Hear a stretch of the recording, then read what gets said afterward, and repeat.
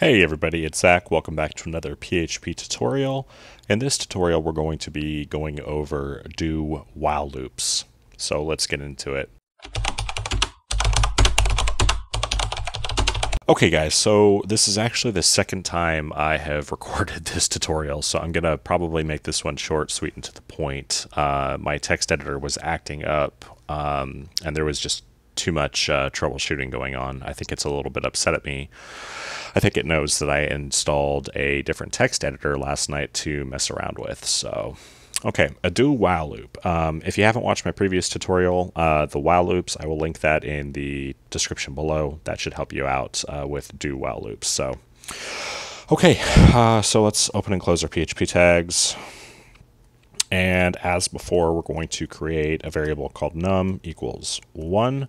And remember, you do not need that in uh, brackets if it's a number. So do. What we're going to do here is we're going to say do something and then while. So essentially what we're doing is we're checking afterwards if it needs to keep going instead of before. So what we're going to do here is we're going to uh, start with uh, echoing uh, num, concatenate, and then space. Uh, I'm going to use single quotes on this. Hello world. And then what we're going to do is we're going to go num plus plus like we did before. And then in here, we're going to write while. And then what we're going to do is num is less the, uh, less than or equal to, we'll use 10.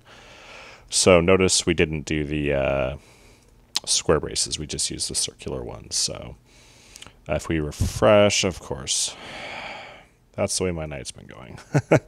uh, refresh, there we go. Okay, cool. So that worked. Um, so what we could do here is just add a line break so they don't uh,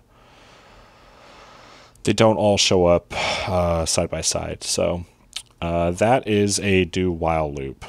And uh, I can't think of a good use for this off the top of my head. It's just one of the loops in PHP, so I thought I would teach it to you.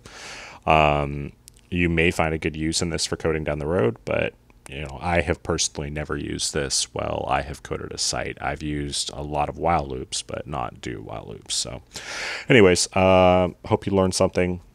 Uh, drop the video a like uh, comment, share, subscribe. Uh, I'm on Twitter now. I'll link my Twitter in the description below, and I will catch you in the next video. See ya.